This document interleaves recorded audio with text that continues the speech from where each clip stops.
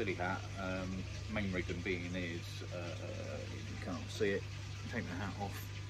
Just up here on the side of my head there, I've had a mark since um, since April in the year. Um, just a little tiny mark, won't going away or anything like that. Um, and I decided to get it checked out by the doctor this week and it's a little bit sun damage. As koi keepers, um, gardeners, know, we're outside an awful lot in all weathers, but you know, this year particularly with the sun we've had and everything like that you know, I normally wear a baseball cap, but when you get out and you're working and you get hot, you tend to take it off, throw it to one side, try and cool down a bit. But yeah, um, got a little bit of sun damage there. Uh, like I said, had it checked out. Um, and the thing is, it is a form of skin cancer. Um, nothing to worry about, not going to kill me, um, but needs to be sorted. So basically, I just thought I'd mention this just so that you're aware, you know, if you get anything, little marks appear on the head, the arm or anything like that and it doesn't go away, just get it checked out. You know, it could be something serious. Like I said, I'm lucky, mine can be burnt out with a bit of dry ice or even possibly treated with the cream and it'll go away. So it's, it's not life-threatening or anything like that, but you know, you hear the C word and it just sort of, you know, make you sit up and think a little bit, and panic a little bit. Anyway, doom and gloom over. So um, this week uh, uh, I've got some new food to show you. Uh, pick it up, it's a price I couldn't um, resist. I had an impromptu visit down to ACM Koi um, down in Cullompton, Devon. Um, you know, I was going. It's I say impromptu. I was going to go there, and then the missus said no, we didn't want to, and then sort of like then we did, then we didn't want to. So we weren't going to, but we're still going down to Exmouth for a day, uh, revisit old haunts. It's only over an hour away from where I live. And, um, we got sort of like about three quarters of the way down there, and she's like, oh yeah, go on, let's, you know, let's go up there.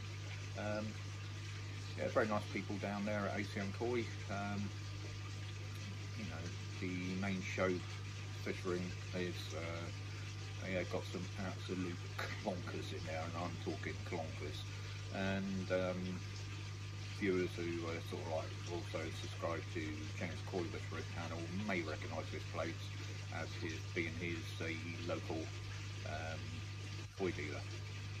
So yeah, just a little, it's just a very ad lib quick little look at the uh, fish that he's got there. And that's where I picked up the food from, that I got some Saki uh, food, um, price I couldn't resist it is the cheaper version, but you know, at the price we were offering it for, I couldn't resist it, and I needed a bit more just to tide me through the rest of summer.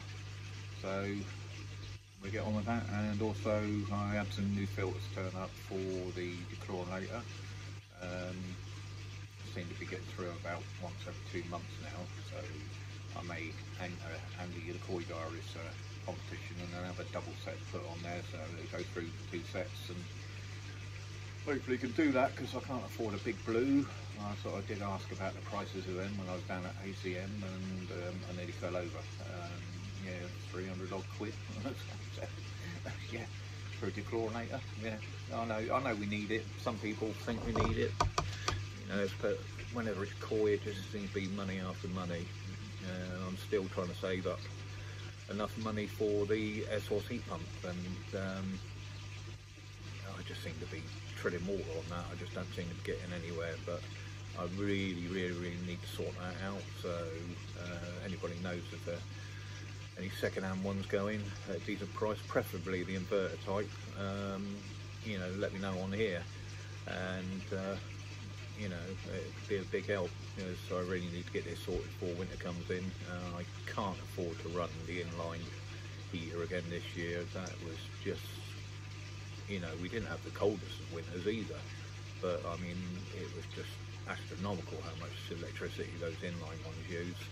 They are great, don't get me wrong, they do the job, and if you can afford the electricity and you want to heat your pond, and that's your only option, then yeah, go for it. But like I said, they You know, the amount of electricity they use, it's like having a kettle turned on virtually permanently. Or two kettles if it's two kilowatt, or three if it's a three kilowatt. But yeah, I mean, like I said, it worked, kept them fish nice and healthy all winter, but I really need an heat pump. Uh, I can't do gas, not with my setup and, you know, way it works. So anyway, on with the video, we'll have a quick look at the fish and that lot, and um, at the end I'll show you the uh, ACM koi, sort of a semi-visit, a little bit of a natter going on and stuff like that. Anyway guys, hope you enjoyed the rest of your bank holiday, um, and uh, have a good time, and I'll catch you in a little while. See you in a bit, bye. So the fish are all doing well. Um, temperatures knocked that, uh, the drop in the temperatures have knocked them a little bit off the feed. Uh, there's nothing else wrong with them, it's just like the drop in temperatures. I'm down to 15 at the moment. Um, and the heavy rain we had, uh, I mean, I tried to tried to get some of the um, security uh, security cam footage offloaded when it was coming down. Uh, uh, I mean, it was literally like, you know, a sheet or a waterfall. It was coming down that heavy. The overflow on the pond was struggling to keep up and the pond was coming up and up and up. Um, but, you know, the, you know, the fish are fine, they were loving it, they were still feeding sort of in it. But it's, it's been weird old weather to say the least. Yeah, but everybody's doing well. Um, still got to move those two on. Like I said, there's a young lad who's going to take him. He's got his own YouTube channel. I'll post a link down behind there. He's just starting out in koi keeping. Uh, so I said I haven't him, but I'm having problems getting hold of um, the canned oxygen. Uh, everywhere seems to be sold out at the moment, so if anybody knows where I can get some, uh, I know, no 20 do it, but they're out of stock. There's a few other places that do it, but they're out of stock and I don't really want to transport the fish, bag them up and transport them without actually putting oxygen in. And unfortunately I can't sort of like bag them up and go to my dealer because I'm have to be leaving early in the morning. But yeah, so like I say, so if anybody knows where I can get some, let me know. Now, the Yamabuki Ogon over there, now,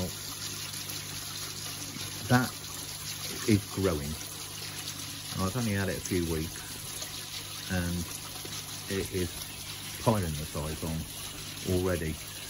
You know, I'm, I've not had it out, but I reckon in a few weeks I've had it, I mean, there's a good 3 cm, possibly a bit more, it's grown. Um, so, uh, yeah, I know it's jumbo bloodline and they do grow, but yeah, definitely, definitely nasally grown. I think that's going to be sort of like a bit of a bit of a fish.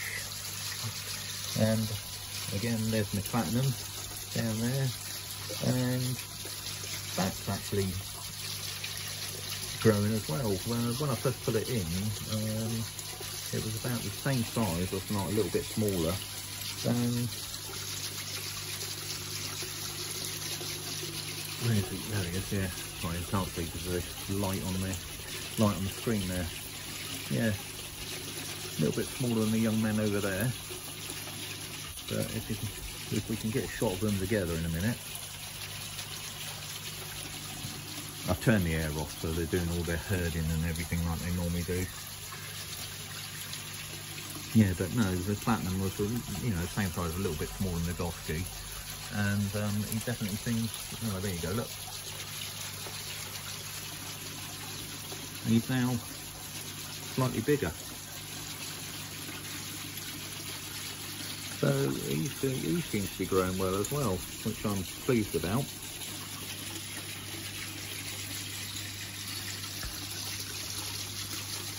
Now, um, Koi Diaries is just uh, announcing news on, on his channel, uh, Andy from Koi Diaries. Uh, if you subscribe to my uh, videos, you'll no doubt you'll be subscribed to his, um, but if you haven't seen his latest one yet, uh, he's got news on a, a growing show uh, next year um, from Adam Byers Koi Farm. Uh, it's either going to be a Kohaku or um, a Showa. So I won't steal your thunder. Uh, I'll let you go over to his uh, channel, check it out, and if you're interested in taking part, um, just register your interest in the comments down below with him. And uh, I mean, it's a really good price, it's a really good price. And uh, as most of us know, Adam Beyer just, just produced some very good quality fish. So they're looking at probably around about May next year. So pop over to Andy's channel. I'll post a link down below uh, for that specific video where he's talking about it. And um, go have a look yourselves. And like I said, if you're interested, just register your interest. Uh, I'm going to have a go. Why not? If I can clear some room, that is. yeah, running out of space. Anyway, let's uh, get on with the jobs and I'll speak to you in a bit. So just swap these over again. Um, you see the white ones picking up a lot of stuff, a lot of algae in there. And the carbon, I think they're pumping through extra chlorine, so doing it every two months, like I said earlier. Um, now mine's on a timer down here, so I've got it trickling in a couple of times a day there rather than have a constant trickle because I'm on a water meter, so it all costs a lot of money so but what I've got here is if I just unclip this here you've got one of these um, stop hoses when you connect even though it's turned on at the tap. Um, that stops water coming through. So I'm not going to go into this too much. I've covered this before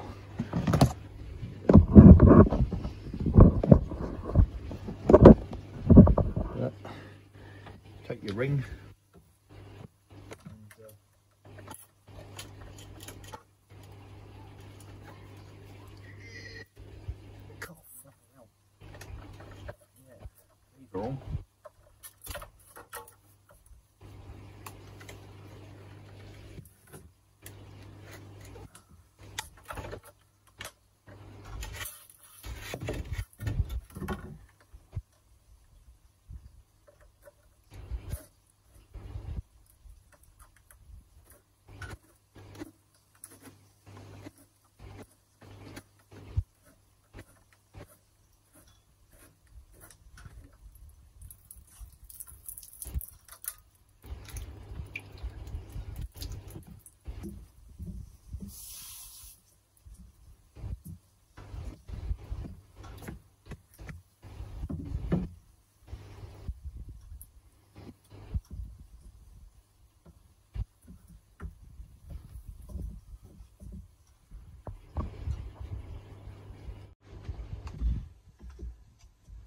Do want to show you is these.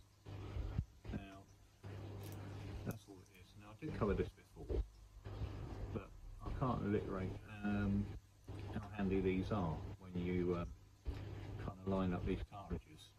Um, once I put new ones in, I'll show you what I mean about these. But these, for, for what they are, a couple of quid for a three, these make life so much easier when you're changing these in the three-stage dichlorinates. So, once you've got these off, and you're putting in your new cartridges, got the hole in the bottom, so you can line that up quite easily. But, what you get, if you're a doddering old git like me, and you haven't got a steady hand, it rocks and rolls, and when you're trying to offer it up, uh, to the hole in the top, it sometimes you know, it can be a bit of a faff to get it going in.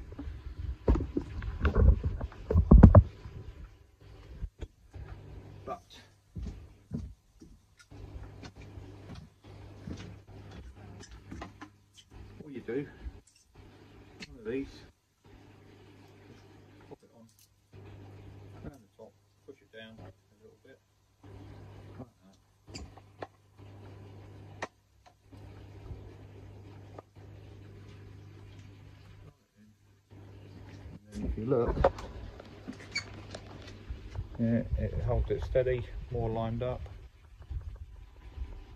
Makes the life a bit easier.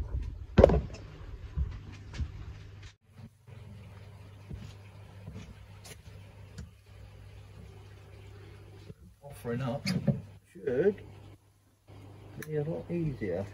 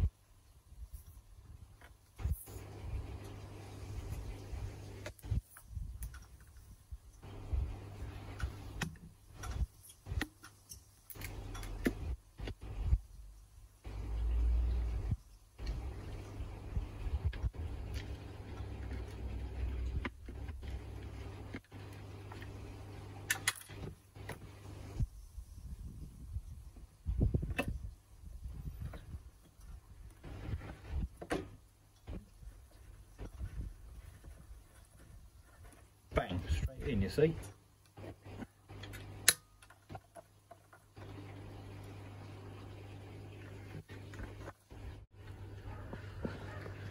So a bit of a bit of a disaster there, nothing to do with little clips or anything like that, but um, on top here, when you sort of like put your cartridges on and stuff like that, you've got little valves that you're supposed to push down, spring-loaded valves so that they bleed and because it's in the sun uh, these are broken off. And it's the spring that holds them up tight get a tight seal. Um, hopefully that'll hold. You can see just a gentle push either way. And these are uh, letting water through. So I've just had to move my timer over to that side there. So when the water shuts off it prevents it from coming in here. And hopefully I ain't going to lose too much water so contact buyer because I well yeah I suppose it I suppose I've had it over a year but just see that's the only one that's alright but I suppose being out in the sun where it is it's in full sun most of the time as you can see at the moment. And uh, plastic does degrade in the sun so might have to get a new unit. Andy. Hello, mate. You know, I understand you got one going. I know you're giving it away in a competition.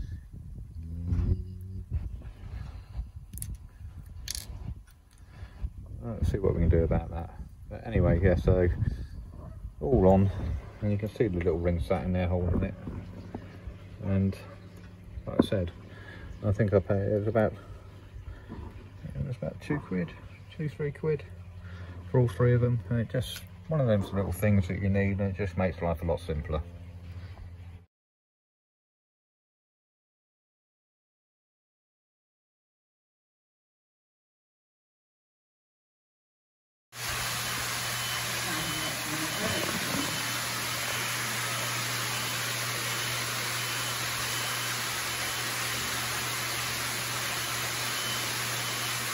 What sort of price range are you sort of talking about in here, just out of interest? Cheapest is 500 and then they go into many thousands. Many thousands, yeah.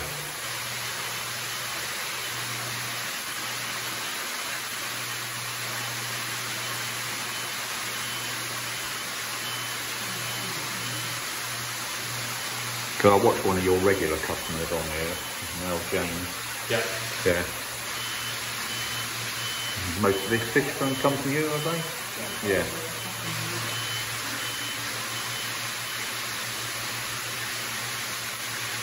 Because the last one come out of this pond, didn't it? Yeah.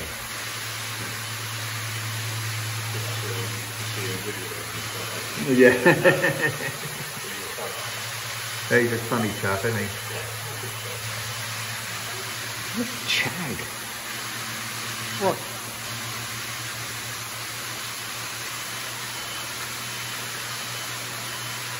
That has got some bulk on it though, isn't it? It's carrying a lot of weight, that one. Yeah.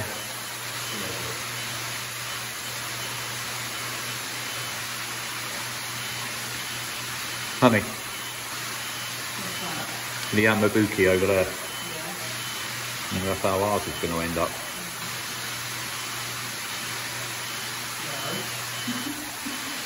Yeah, she said, she said, said to me the other day, she said, I want a yellow one.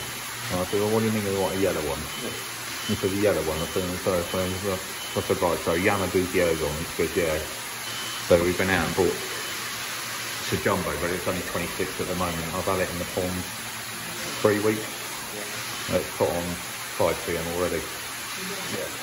Yeah, it pushes. I mean, uh, it pushes the big ones out of the way of feeding time. You know, it gets in there. Yeah. Well, I've got two big Showas, and they're. They, I mean, I could put the feeder on permanent, and they just sit there, mouth open, taking it in.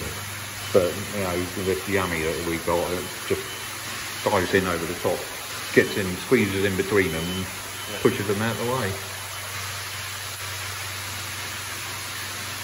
What do you feed? Uh, we get that going again. Yeah. Normally it's my own food for the rest of them. Yeah. Your own food, as in some, like, you you blend it together yourself. Yeah, it's made for me, I've got a body time to be nice food, so that's what I do. Yeah. But, yeah, Who's that from Coping or yeah? I can do, uh, everything stuff that you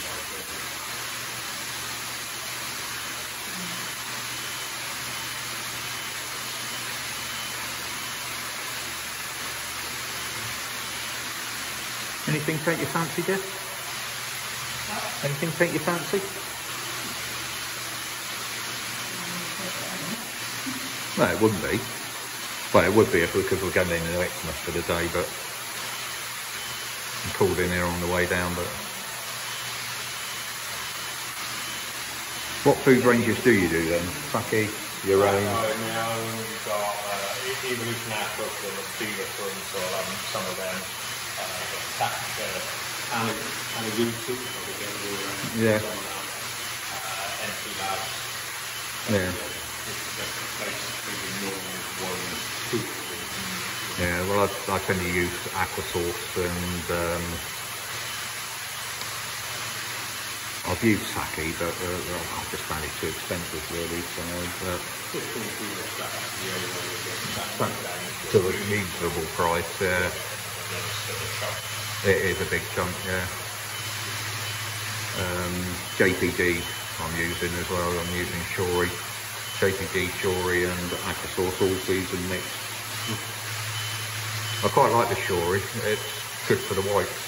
It's the only one I found that sort of like keeps the whites nice and crisp.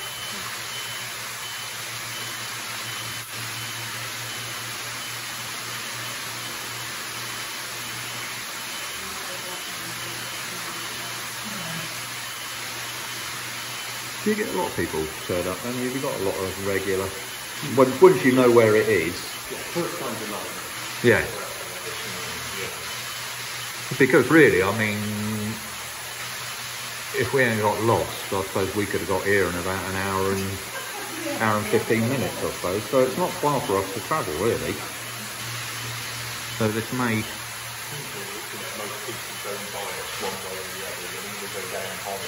most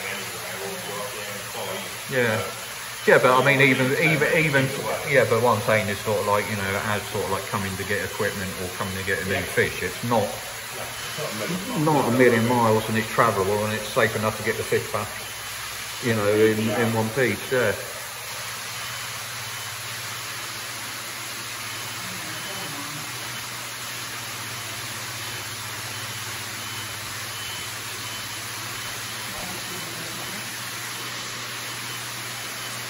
Shall we go have a look for else, love? I'm getting a bit of a sweat on now.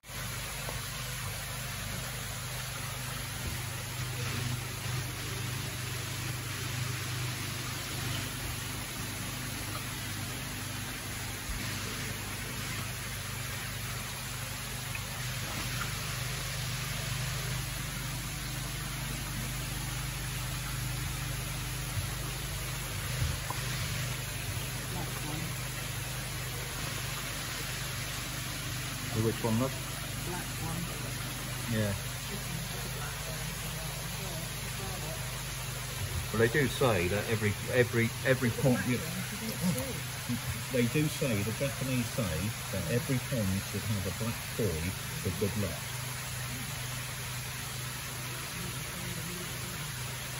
But that's like I said. It's not something you see very often. What a is called. Yeah. You could cut it out.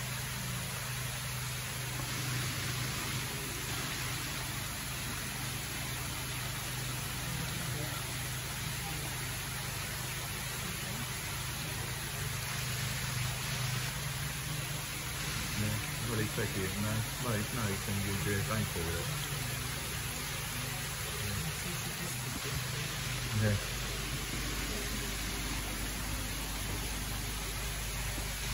So these are all bred on site. These are all his own, this is what they breed in their own mud pond.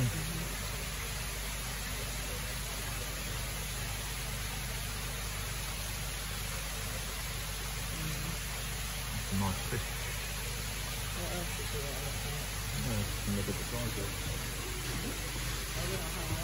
No.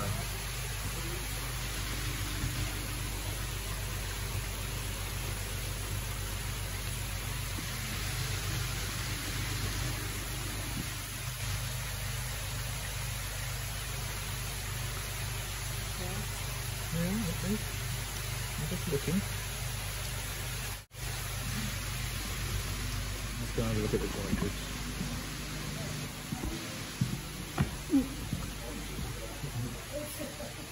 Yeah.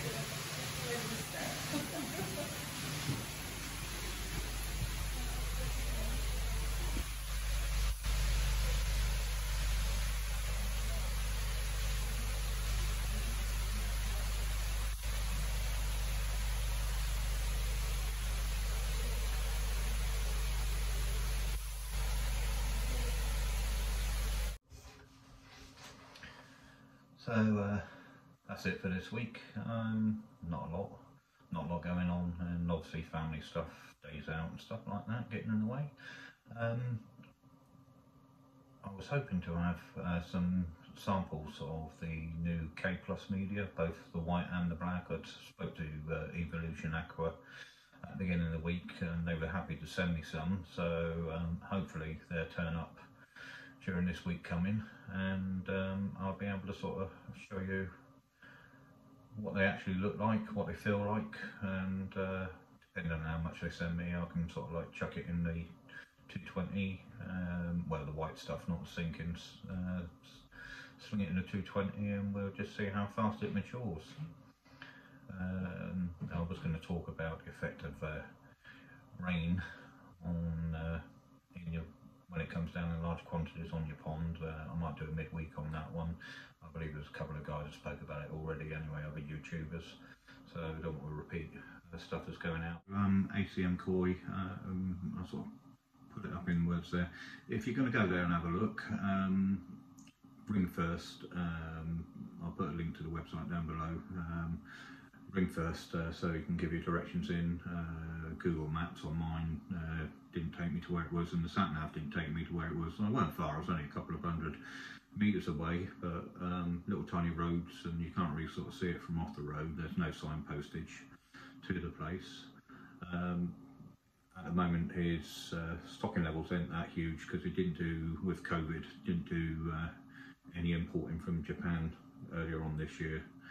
Um, he may do an autumn uh, harvest, sort of like the October harvest. He may bring in some stuff from there.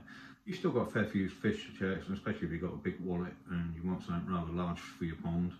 Um, yeah, he's definitely got something worth looking at in there in the uh, show show pond, definitely. But yeah, um, very nice person, uh, very nice to speak to, and uh, not a bad little setup. Uh, but all right, guys, uh, stay safe and um, look after yourselves and enjoy life. All right, take care. Bye bye.